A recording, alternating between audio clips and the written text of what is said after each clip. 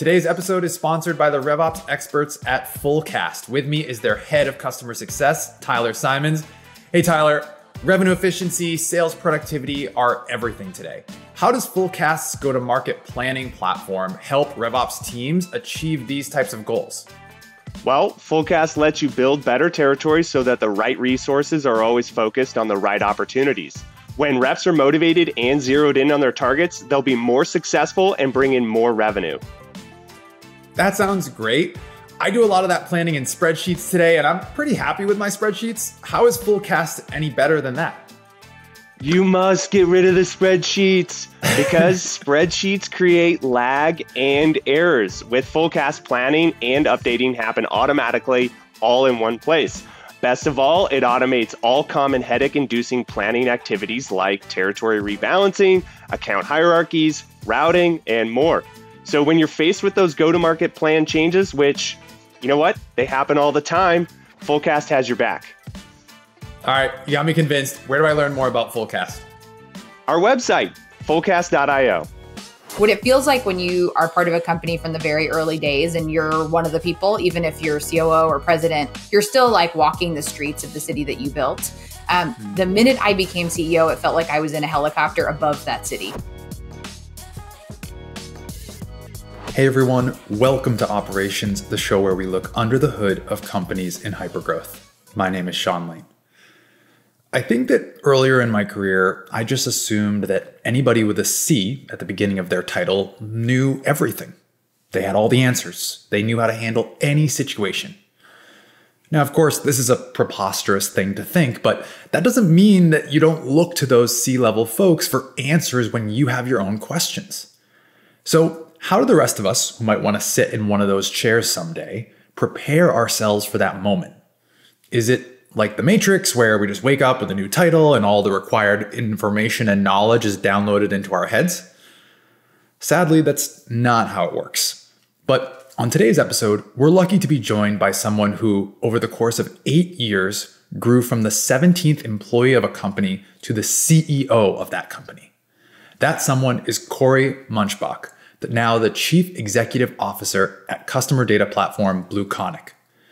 In our conversation, Corey and I talk about the relationship between a CEO and a COO. We cover the importance and the vulnerability that comes with asking questions, and the traits that might hold back operators from being good CEOs themselves someday.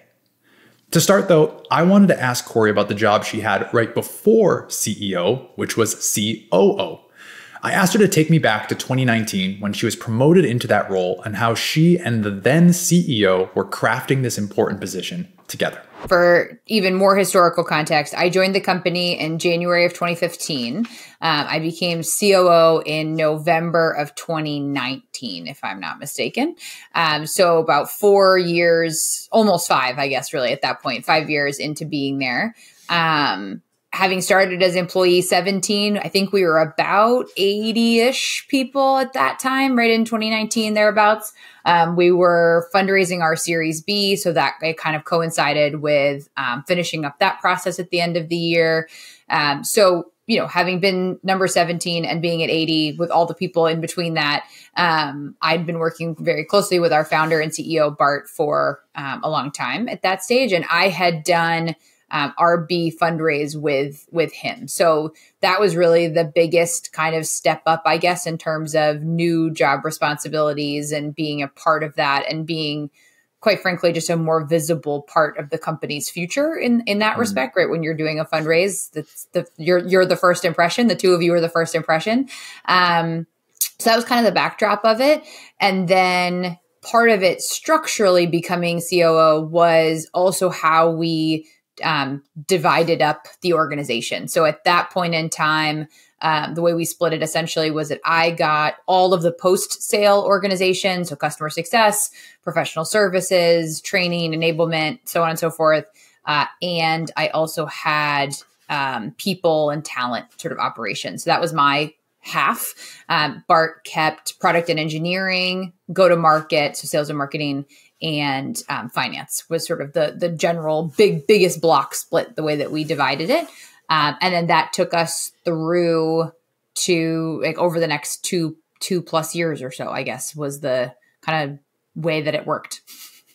And you guys already had kind of like as you mentioned, four years of, of that working relationship together. And so when it came time to to make those splits that you were talking about, was that kind of just a natural evolution of things that you had already been worked on or your skill sets or things you were well suited for? Or was that, hey, let's sit down and kind of carve up the organization in, in a in a thoughtful way now that you're in this new role? Yeah, definitely more of the the latter actually. Okay. Um, and the reason for that, I think, is a few things. One um, is that part of why I was even in a position to be considered to do this was that he and I had spent the previous several years in a lot of ways kind of exchanging bits and parts. Um, and I built a lot of those pieces right from kind of ground up. And so um, we both, part of the need to create a separate role for me was that we were actually spending too much time working on the same stuff right? The, mm. the, overlap was was really inefficient and creating weird lines of responsibility and who owned what and things like that. And so some of it was just like a natural out out growth of growing. Um, but because of that to your point, it wasn't an obvious split, right? I I say this all the time. Like I have no actual skills or experience that like would lead you to think, oh, like obviously, you know, she came from sales, so she'll take sales or something. Like, no. Um, the only thing that I had sort of a semi background, I guess, in at that stage was more on the marketing side, which actually ended up staying with Bart because part of it was that well, product marketing and I are a great fit. Really, the rest of marketing and I are not such a great fit. So we were really thoughtful not so much that one of us was necessarily skill set wise more suited, just more the nature of like where those organizations were. And in that case, the people and talent piece fit really well with me, right? I spent the culture of the organization has kind of been like a, a piece of me since I started. That's something that's super, super cherished to me and I spent a lot of time on. But the post sale organization was much, much earlier in its infancy. And so um, CS was a little further along professional services basically didn't even exist really. And so essentially that was more of a, a build than mm-hmm. go to market and um, product and engineering were. And so that was really more the line that we delineated. It needed to make some amount of sense, obviously, coherently, that you can't just have it totally mixed. but it was actually more just the stage of it and like what was the nature of the problem. And I, tend toward being both better suited for um, and enjoy more, quite frankly, kind of the newer buildy reconstruction stuff than I do the like carry it, optimize it kind of stuff. Um, and so that was really kind of what went into it. But it was very intentional, very deliberate process. It did not naturally happen that way. The relationship between a CEO and a COO is fascinating. And based on all the conversations we've had on this show, it rarely ever seems to be the same in any two companies. The split that Corey and her CEO arrived on wasn't so much skill driven, but rather driven by the need and the maturity of the functions themselves. Corey's a builder, and her fingerprints are all over the parts of the organization that she helped build herself as she rose through the ranks. It also struck me that the different functions that she spent time in here helped to fill in some of her own blind spots and served as this amazing training ground for a future CEO.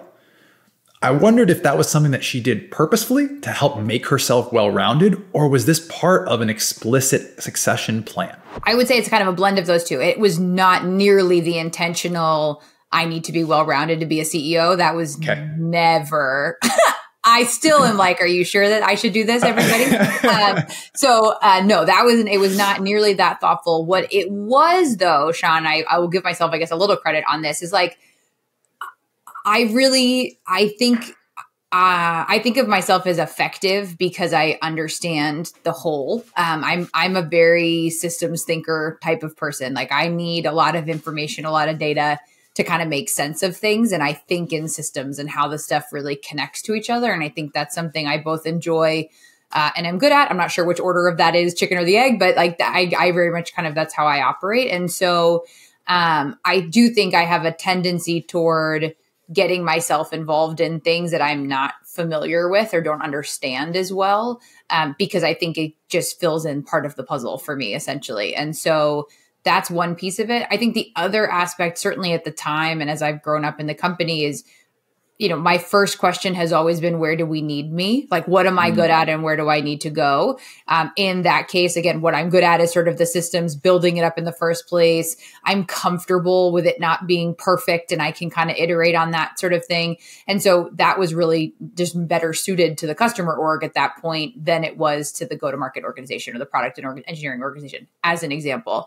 Um, and so I think that's much more how it happened and, and where I tend to to spend time. But it wasn't uh, it wasn't because I thought it would be in service of a different role. Mm. Um, I also, last thing I'll say on it, I think to be again wherever you sit in the organization, to be a little bit more of a, a versatile athlete. um, is has just again it's like what i'm better at. I don't know this necessarily yeah. the best way to be but for me to feel like i'm operating at my best i really do need to have breadth uh, as well as a, enough depth. Um, and and so that's kind of how it ended up up happening more than anything. And before we jump further ahead in terms of your, your progression there i think something that would be helpful for people is when you ask yourself where does the company need me how do you answer that question?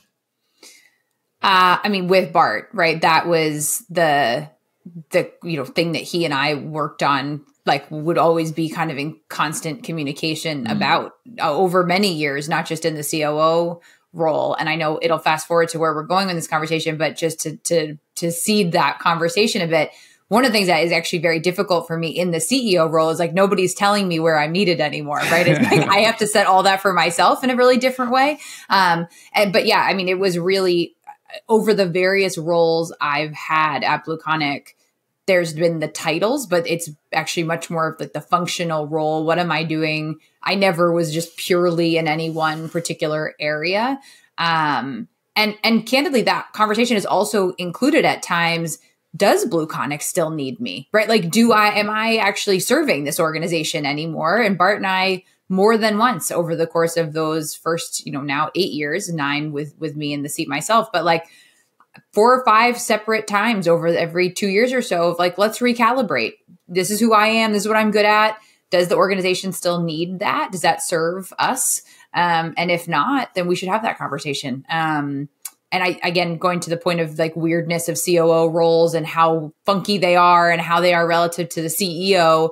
I think one of the reasons that I was able to be successful and why Bart and I worked so well together and why he was such a huge sponsor, obviously, of me having any of these opportunities um, was this implicit trust that we had that like I would raise my hand if it didn't feel like it was right and that he would be mm. honest with me if we kind of reached that point. Um, and I think that's a pretty special, unique level of candor to know that you both trust each other to kind of walk away when the moment is right. Um, that's pretty special. And I think that was a big piece of how any of this was able to work over the very long period of time that it did. Pretty special indeed. I really admire this relationship that Corey had with Bart over the course of her career at BlueConic and this transparent assessment that they would do with one another to ask those important questions.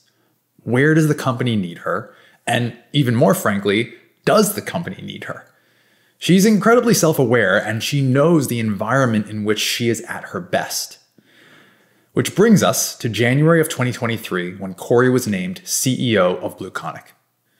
Knowing what we know about her relationship with Bart, I wanted to know how did they come to determine that the place that the company needed Corey at that point was as its new CEO. That's a was Bart's decision ultimately. Like obviously we had conversations about it. It didn't just like come up one day. um but it's it's was a when he was ready uh and you know he's been at this for a long time um for some backdrop right on him too, right? As a founder, the company was initially incubated in terms of the product in a company that they had founded previously all in the Netherlands. And so when they took the Series A in 2014, um, he moved his family, young kids, the founder, CTO Martijn did the same thing, right? Partners, wives, spouses, etc. Um, this was a huge, huge uprooting of their lives and sacrifice that they made to to kind of pursue this BlueConic thing. Um, and I never. It took me a little bit of time, admittedly, but but I think I caught on pretty fast of kind of respecting that and like that's a whole other level of commitment and loyalty to something than um, than I had ever been able to show. And the fact of having stuck it out as long as I did and being in the trenches with them, you earn, you know, earn their respect. Bart uh, used to refer to me in a way that never, I, I still don't feel like I ever deserved, but he called me kind of the American co-founder. Um, and I will be the first to tell you, being a co-founder or a founder is totally different. You can call me that, and it doesn't make me one. But I, you know, the the implication of it was obviously incredibly generous and, and recognition of what he saw as my role. Uh, and I, I think just the the opportunity to step into his shoes was the the long time um, payoff, I guess, of that. Again, was never the expectation, was not yeah. why I did any of this, but to be in a position where the person who knows the company the best says the next person to be the best for the company is her. Um, that carries a ton of weight. And that's just, I look at it as carrying the mantle on uh, in the way that I would have if he were still here. Um, he's not, it's different, it's changed a lot, you know, all, all fine. Um, but, but that's really how it came to being. And he, when he saw that his time, when he was done, uh, I was the next person up and he made that case to our board, right? That had to be a decision the board made, not just a yeah. handover one day in the night.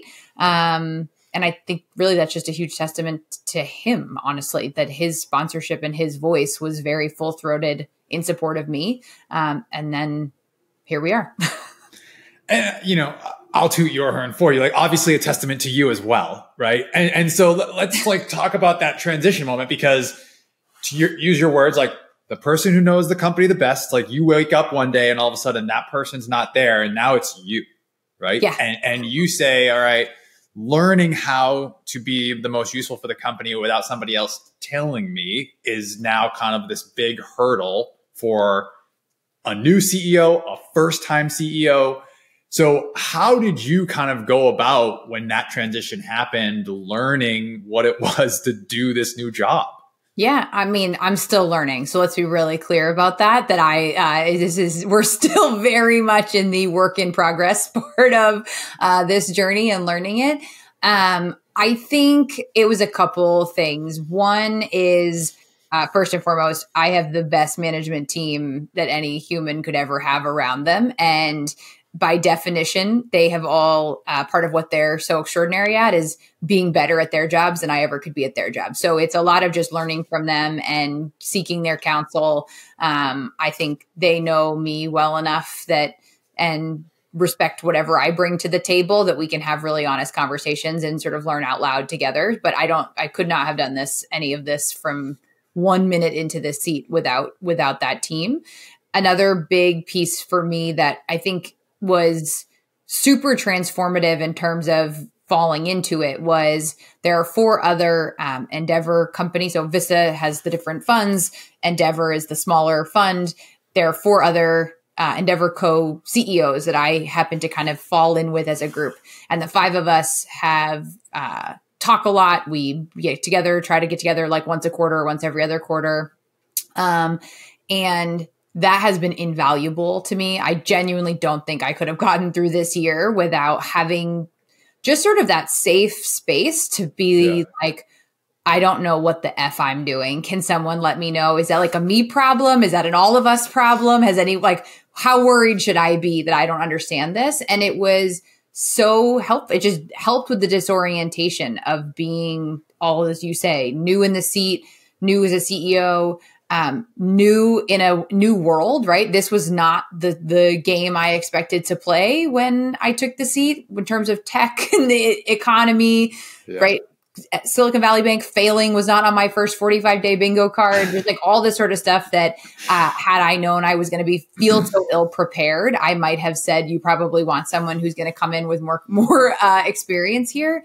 So I guess the long and the short of it is the way that I've navigated it, which is candidly just true of everything, is uh, I am very comfortable telling people when I don't know things. I'm very comfortable asking for help. Um, and I have just, I'm very, very, very lucky to have so many people who are brilliant and capable and kind and understanding to say, yeah, here's how I, here's how I've seen this, here how I can help it. And going back to the point about being a systems, like that's where I have enough data, then I can start to figure it out for myself. Like they, have given me the inputs I kind of need to be like, okay, this is the system. This is my system. This mm-hmm. is sort of what this is going to look like for me. Without that though, um, I just be like, spinning around in the dark by myself still trying to figure it out which is would have been very very inefficient. So long story short it's it's the people that are either directly around me i'm fortunate to have around me the squad whatever. Um, lots of people have gotten a lot of questions from me in 2023 this episode is sponsored by fullcast the company that helps operators build better sales territories their platform focuses the right sellers on the right opportunities making them unstoppable and the cherry on top, Fullcast automates common go to market activities like territory rebalancing, account hierarchies, routing, and more, so the plan is always in sync with operations. With Fullcast, say goodbye to go to market planning headaches and hello to your own personal planning assistant. Learn more about Fullcast today by visiting fullcast.io. Okay, back to Corey. Before the break, Corey was talking about the people she has leaned on and the questions she has posed to those around her in her first year as CEO. She had a peer group of other CEOs, she had her management team, but to me, what's remarkable is her willingness to take advantage of those groups and ask questions when you know everyone is looking to you as the person who should have all the answers. Letting your guard down with a new group of people isn't easy. So I wondered if that was a practiced or learned skill that she's honed over time. I think it's a couple things. So one is purely based on observation over the years now. Uh, I am struck by nine out of 10 times when you have a question, somebody else also had that question. Like, mm. like of all kinds. This is nothing to do just being a CEO. And the people who are willing to be the one who asks the question end up so much smarter than the people who don't ask the question. But more importantly, when they do it in a group, which is the, I guess, the more vulnerable way to do it, you make everyone else around you smarter as well, right? Everyone benefited from the answer to that question. And I think where this daisy chains together for me is that I tend not to end up in situations that I'm totally unprepared for. Like, I over prepare. I read a lot, ask a lot of questions. So it's the one thing that I will say I have confidence in is usually that it's a it's a reasonably okay question. Like like so that's where I start. My baseline is if I if I, I get, I my homework, right? Like yeah. I'm not going to walk into like a, a, a, you know a calculus class and be like, "Tell me about numbers." Yeah, I I know enough to just not sound like a total moron. But honestly, that's a pretty low barrier to entry. And I don't think a lot of people give themselves credit for just that level of preparation. I'm like, okay, if I'm in the room, I probably like, there's enough basis to this. Let me ask the question. And what I end up with is people who want to tell you things. So that's great. I learn, everybody around me around me learns. And so that snowballs. And I think what has happened then over the course of my career, where just by virtue of being who the I am in the room, uh, connotes some sort of knowledge that don't necessarily deserve, but whatever, that's fine. But what I where where it's shifted, Sean, is that before I was just doing it because I needed the information. That was like I have a job to do or I have a goal, and here's what I know. Here's the gaps I have. How do I fill the gaps? So it was it was sort of very like break fixy. Mm-hmm. Where I've gotten to, I think, better now is uh, kind of by practice, be the person who is willing to be the dumb one so to speak. That's not that was pejorative in a way. I didn't mean to be like, but be the person who has the question. Let's just go with that on behalf of other people. Even if I know the answer or like think I know the answer, if I can create more space for people to ask the questions, that's better for everybody. And I think that's where the biggest shift for me has come from. I sort of naturally did it to get my job done. Now I try to do it because I think it's better for a group or a team or an organization and I benefit from what happens next. But then the last piece of it, especially for this year, where it's all been new to me and it has been the hardest it's ever been for me to ask the questions because I don't know to exactly to your point, it feels like a lot more pressure if I get the one wrong and it's like, what are you talking about? Mm. But the, that's where the confidence, like you just have, you do have to just take the risk. And the example I would give on this is when the uh, group that I just mentioned, we got together for the first time and we had a bunch of topics and we spent this whole day with this whole agenda and we had this amazing, we were sharing, sharing information about strategic planning and all the stuff. The biggest hangup for me in my first few months in this role was like, how am I supposed to be spending my time? Like what should my calendar look like? Uh, do i have the right priorities? And i was trying to kind of matrix it out where it was like okay here's what i'm good at. Here's what i enjoy. Here's what the company needs. Like figuring out the overlap of that venn diagram because on the one hand there's shit that the company just needs you to do whether you enjoy it or not and whether you're good at it or not. But the thing that's so unique about this role is at some point you also need to be your own judge of this is I'm so bad at this that it's damaging to the company. Like what's the difference? Like where's that line between get good enough at it because you have to and recognize that like yes let the cfo handle fp&a but you need to know the model right? Like so what there's so much of that ambiguity. Same thing on the good at it versus bad at it. I have to do things or things sorry that i'm i give me joy or that i love doing there's plenty of stuff that I don't love to do that are part of the job. But if I do too much of that, I'll burn out.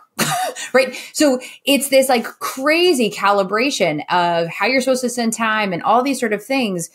And what I was amazed by in going to this group, I, I assumed I was the only one who struggled with that because I was new we had the best conversation and I talked about how I run my calendar and one, two of them now run their calendars the way I do. So going back to the point of like nine out of 10 times other people have the question. And just by virtue of creating the space, yeah. turns out I actually was able to contribute in a way I didn't mean to, which then kind of boosted my confidence, right? And this is sort of this virtuous cycle that I think has worked well, well for me, even though the sort of nature of it has changed a little bit over the course of my career and what role I play in a given room or hierarchy affects it a bit. Um, but yeah, that's like sort of how I have navigated it. I don't know. Probably there's times where I'm too vulnerable or too stupid in front of people, but like honestly, that's so infrequent compared to the disproportionate benefit of being the person who's willing to do it. Like it's worth it. Like like not even a question that it's worth it. And I think that there's probably like really significant organizational ripple effects of that as well, right? Put aside your peer group. Like, I don't know you that well. I don't work at BlueConic, but I would imagine that that approach then trickles to that management team you were talking about. And then that trickles to the rest of the organization at BlueConic. And so if everybody at the company has that mindset and that psychological safety to ask those types of questions, everybody gets better. Right. I mean, like that, that's that, the aspiration. Yeah, for sure. Right. Like that is the goal. That is the goal. And I will hold myself to a higher bar that I don't probably think I've manifested it fully through the organ and all the teams all the time. But absolutely, what's true is if you look at some of the folks who have been most successful in their careers at the company, um, they again not because of me but they naturally tend toward this as well. Like my chief of staff who's been here it'll be six years very soon um, she started as our first account manager. She's held 8 million roles between that and and being a vp and chief of staff now. Her job changes like week to week almost because of her range in the company. But her superpower, one of many, she's an incredibly gifted person, but like her superpower is being the one who asks the question in the room. And it's, it's very similar. I think if, if you asked her to describe it, very similar to me. In the early days, she did it because she needed to know to get her job done. She was unwilling to not have the information that she needed to get her job done well. But because then she got her job done well. That boosted her reputation, boosted her confidence in herself. And now she can be someone who's asking the questions on behalf of other people and modeling that behavior. Um, and she kind of grew up that. And there's many other people like that, but it, it is a journey. I, I, don't want to suggest that in your like first couple of weeks or months in a scenario, it's, it's as easy to do this as being like, yes, I will take on psychological safety for everybody. But if you are someone who is willing to kind of put the learning and put the goal ahead of your own ego or ahead of the reputational risk, that can be really well suited in the right organization. Let's also be clear there are plenty of places that I guess would punish you for that. But even still, I think it is it is so critical to doing and you can't it it as you exactly say, it catalyzes, right? It, it goes forward as you model it. Um, but it's got to start with a couple people who just, I think, tend toward it and then people can learn that that's actually something that they can do as well i love that even in a group of ceos just creating space for people to ask questions of each other can make a difference and with corey modeling this behavior within the company and also recognizing others who exhibit this behavior it's clearly having this positive ripple effects within BlueConic itself. I also realized that we've spent a lot of time talking about all the things that were new to Corey, when there's so much institutional knowledge that she brings to her new role as CEO. What the company does, who they serve, the inner workings of the company itself are all things that she's both intimately familiar with and a lot of which she built herself. Institutional knowledge can be a tricky thing. Yes, you have all this historical context to offer, but I would imagine as CEO, there are now times when Corey shouldn't be the one jumping into a project. I personally struggle with this, so I want to know how she's handling it. Some days better than others is probably the right answer to that. So, a couple things. One, uh, I have had the very real gift of working with an executive coach for for some time now, and Rob once said to me in a way that just like stopped me cold, and he said, "Hey, Corey, you may be right, and it may not matter here." And I like I was sitting in this exact seat and I almost fell over out of the chair backward. Like I sort of that, you know, like when you laugh as you like pro you like just have to like release of a I was like, I need to call my mother and apologize for how I've been since like age three and had words. Like, I need to talk to my husband. Like, I, I've never had someone so compassionately and yet brutally just tell me, you may be right and it may not matter here. And so that is constantly playing in my head of, what is your point of trying to be right? And is accuracy the most important thing here, or is someone taking ownership maybe more important, right? So it forces me to at least interrogate why I'm reacting or like why I feel like I have something to say. Um, another really good one um, that our uh, operating managing director from Vista said that is she has like a um, posted on her desk for a long time that's just said, wait why am I talking? Uh, and I love that one too. And so I try very, very, very, very hard to slow down and and be better about the, exactly the types of scenarios that you're describing. The other side, though, of the institutional knowledge that I, I'm also very hyper aware of is just because I know it intimately doesn't mean it's actually right or serving us anymore. So there's also this mm-hmm. element of like, I want to make sure that just because uh, it worked one time or was working for a long time, that I'm not telling people not to or or somehow in, interfering with people coming in and having a really good recommendation for why we should change something or do it differently or you know whatever the case might be so it's it's baggage on on both sides of you know you want people to just like leave it alone and move forward but also can potentially prevent me from seeing an opportunity to improve and move past things that we've done um, that don't make mm. sense or don't serve us anymore so uh, you know i spend a lot of time uh, it, that occupies a big spot on the shoulder kind of in my ear. Like just before you speak think think about this and slow down. Um, one of my real goals for this year was just you know stuff will come in and i would be prone to just responding to it and getting it moved on. I am i'm actually very proud of myself for the amount of restraint that i have very deliberately inserted into how i operate even if it makes me so uncomfortable to just leave it in the inbox or come back to it later or wait for someone else to respond in a group Slack, things like that, or go to somebody else and have that. It is not always comfortable for me, but I I do work really really hard at it, and uh, I I hope people I hope they don't notice it in that respect. Like the people who've known me for a long time, I think do kind of see the difference. Um, the the analogy I would use, and I, I may have said this to you before, Sean, is what it feels like when you are part of a company from the very early days and you're one of the people, even if you're COO or president, you're still like walking the streets of the city that you built. Um, mm-hmm. The minute I became CEO, it felt like I was in a helicopter above that city. And it's like the exact same thing. It's so familiar to me. I know all the nooks and crannies, but I am suddenly at a totally different perspective, different altitude. I can see how the pieces work together in ways that I could never see before.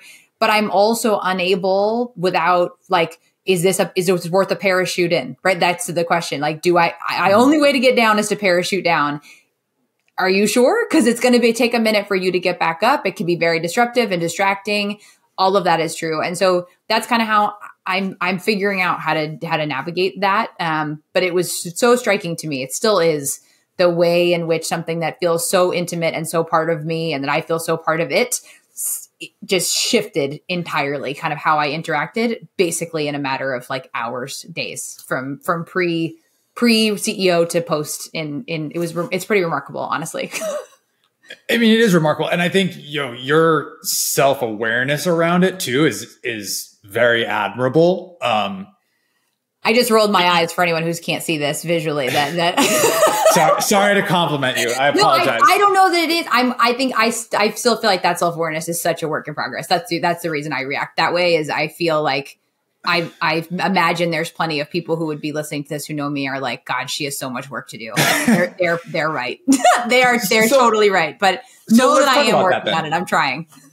Let's talk about that then, because like you know, I think anybody who's been told they have a strength or a superpower at some point has also been told like this thing is also your weakness. Hundred right? percent. And and so like if we kind of extrapolate that to ops people in general, right? Like it feels like the dynamic you just described would be something that would make it hard for an ops person to be a CEO.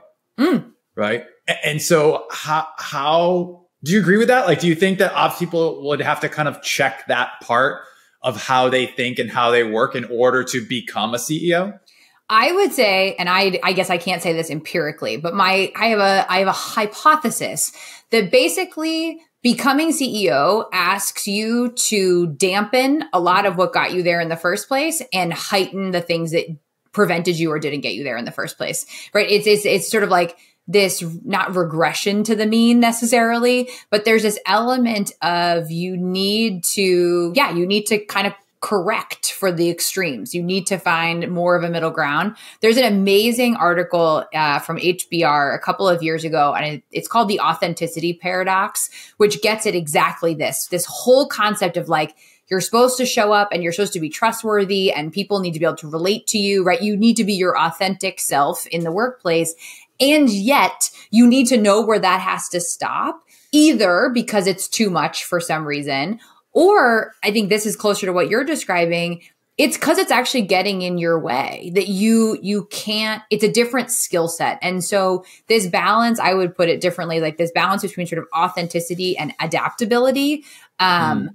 and and I would say I over index on authenticity and under index on adaptability. That's the one I need to be better at calibrating how I show up and what the energy is kind of associated with that, right? If you're constantly doing the one that you're not good at, you're going to just, you can't sustain that. It's too much.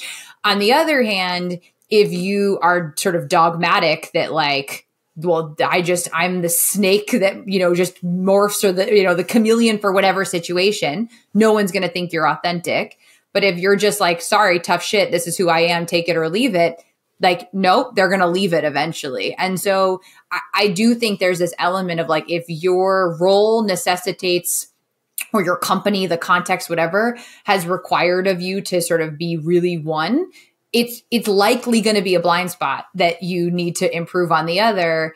And again i think for for anyone who's in a broad based role ceo or otherwise right but where you're dealing with a wide range of personalities cultures languages team types whatever you're you're gonna need to be able to dial up and dial down. Um, and i think the skill that is is knowing how much to dial up and to dial down based on what you're trying to do um, and if there's a science to that i'd love to know what it is but so far for me it has not felt very scientific at all.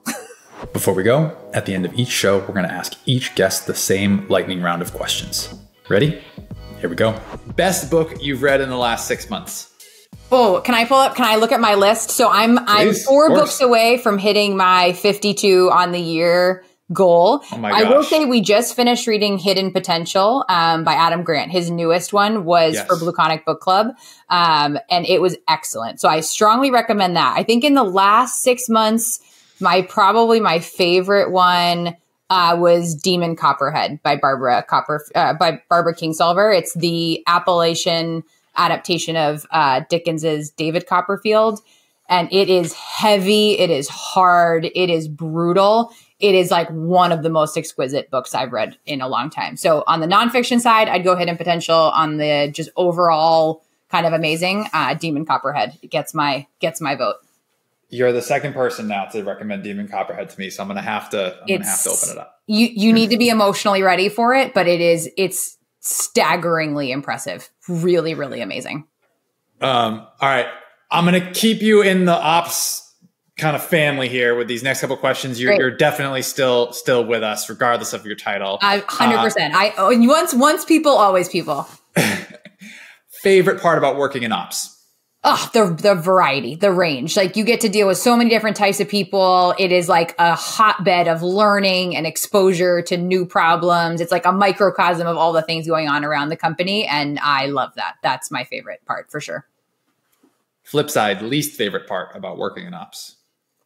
Um, it can feel like you're running in a lot of different directions a lot of the times. I think being feeling like you're kind of peanut buttered and the priorities might change and you worked on something that you have to like kind of throw away. I think you're you feel that shift uh, more intimately than probably most other people in the organization do.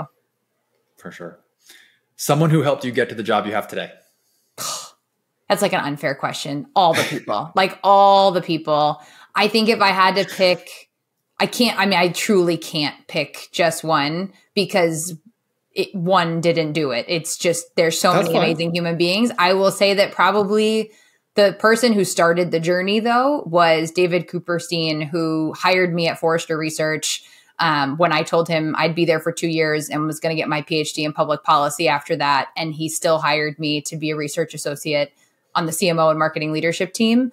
Uh, if that hadn't happened, uh, there's no way I'm here. I would have taken a very different path, very very different journey that would not have ended here. So I think Coop gets credit for tons of sponsorship and advocacy, and also for kind of being the first step on this this journey that got me here. That's awesome. All right, last one. One piece of advice for people who want to have your job someday. I feel like we just did 40 minutes on that, but uh, one Um, piece of advice. So my piece of advice is um Rob also said this to me once that a leader without a follow without followers is just out for a walk. I think there's this perception that to be a senior leader, CEO or other that it's all about pleasing the people above you, your board or your investors or whatever. Um, it's a much more satisfying journey and I would say a much more sustainable one uh, if you are doing it for the people you work with directly or work bit below you, so to speak, in sort of the hierarchy. So my advice is don't get too hung up on what the people above you think about you, even though that seems to be the vanity metric you're going after. Um, it will happen if you get the kind of support and uh, belief of the people below you. That's what really creates long lasting success.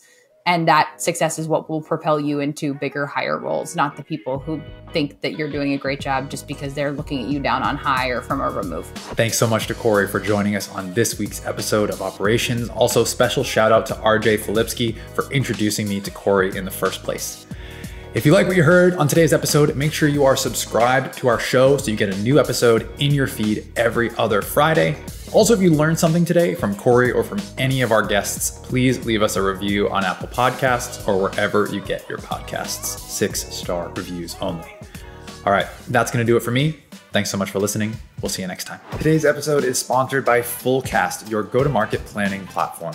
If you've ever spent hours or days building territory and quota plans only to have them be out of date the second the reps hit the street, you need to check out Fullcast. With Fullcast, you set intelligent, rule based policies that automate all of the time consuming manual tasks that hit RevOps teams throughout the year.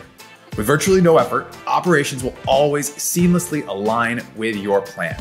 Learn more about Fullcast today by visiting fullcast.io.